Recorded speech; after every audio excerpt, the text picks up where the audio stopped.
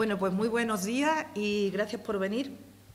Eh, el motivo de llamarles ha sido porque ya que se han publicado, desde ayer están publicadas las listas de todos los partidos, los 11 partidos que nos presentamos a estas elecciones, pues era el momento ya así de mostrárselas a todo el mundo, de subirles a las redes para que todo el mundo vaya conociendo esta lista que he hecho pensando principalmente en la ciudad de Linares y en todo lo que necesita. Y bueno, creo que era lo más oportuno era presentársela a ustedes antes. Antes de darle a conocer quiénes son los nombres y mostrarles sus caras, sí me gustaría decir que creo que he hecho la lista que más eh, le conviene y que más se parece a Linares. Gente eh, con la que todo el mundo se va a sentir identificado, gente que son profesionales de, solvencia, que vienen desde todas las áreas sociales.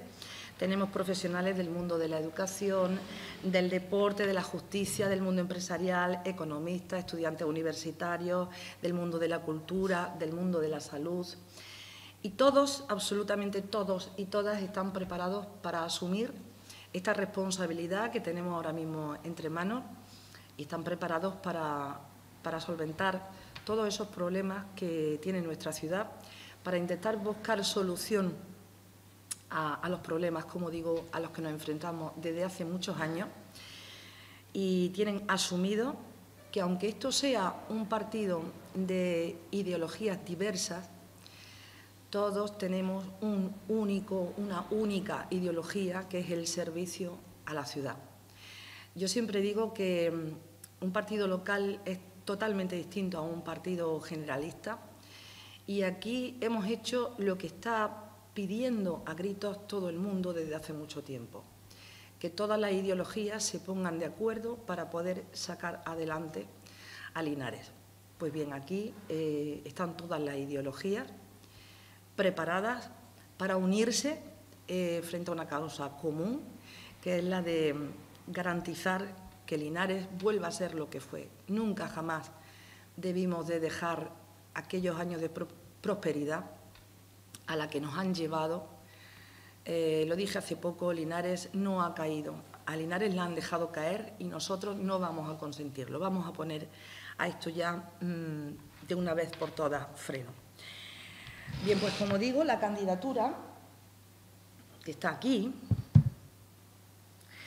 está formada, pues, el número uno, esta que les habla, creo que soy ya conocida, llevo ocho años en el mundo de la política y me gusta hablar poco de mí, pero sí decirles que tengo experiencia, la experiencia suficiente y conozco bastante bien el consistorio, conozco muy bien el, funcionamiento y cómo se puede atajar eh, algunos de, los problemas que tiene la ciudad. De número dos tengo a María Teresa Dueñas Gámez, una mujer de Linares. Verán, yo voy a decir lo que la propia María Teresa Dueñas Gámez dice. Eh, somos gente muy de Linares, más linarenses que las tapas. Eso lo dice ella mucho y es cierto. Todos en un momento determinado en nuestra vida hemos reivindicado algo de la ciudad de Linares. Vicente de los Ríos Peñuela, que viene y se presenta como independiente, pero que viene por el partido Andalucía por sí. Juan Antonio Barrero Sánchez. Eh, a Juan Antonio se le conoce por Coqui, más, comúnmente conocido como Coqui. Aitana mm, de las Nieves Pérez, Pérez. Lourdes Mota Camacho. Nicolás Hidalgo Romero. Luis Martínez Escribano.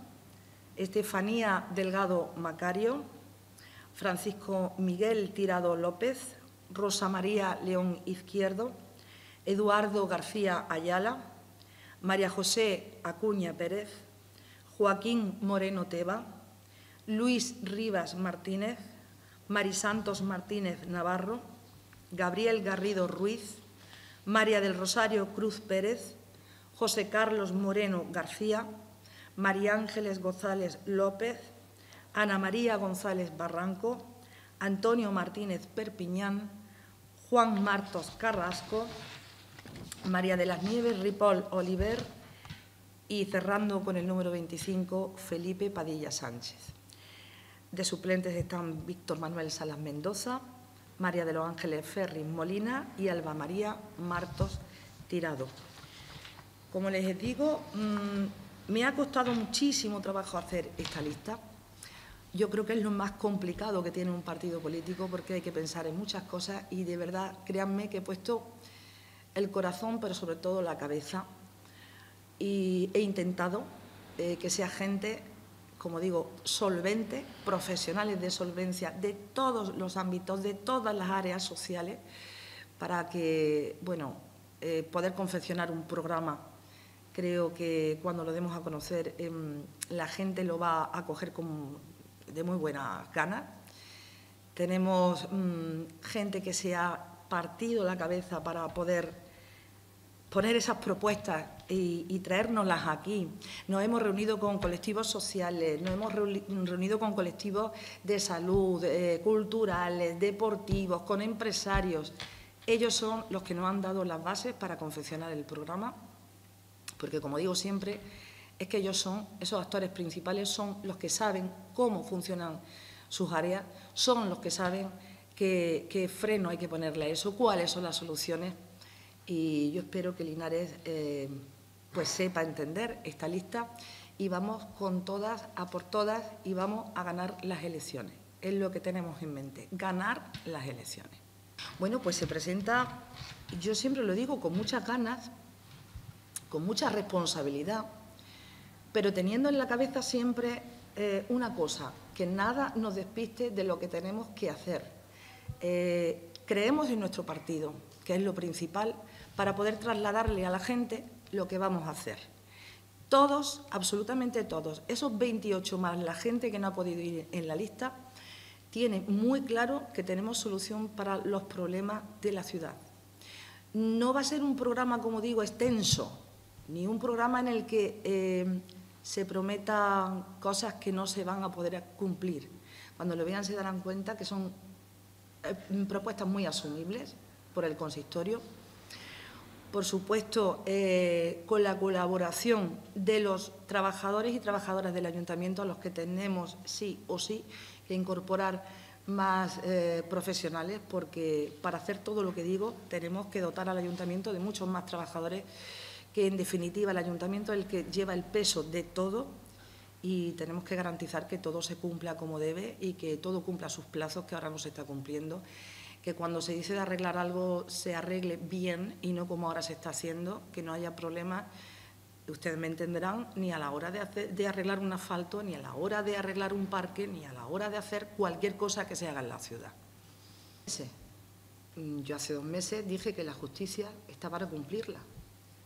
No tengo nada más que decir. Ahora quien ha hablado ha sido la Junta Electoral de Zona y a partir de ahí, pues yo ya es que mm, ya le he dicho que me centro en mi partido y ya lo que haga Linares primero y como esté Linares primero, pues ya no es mi, mi problema.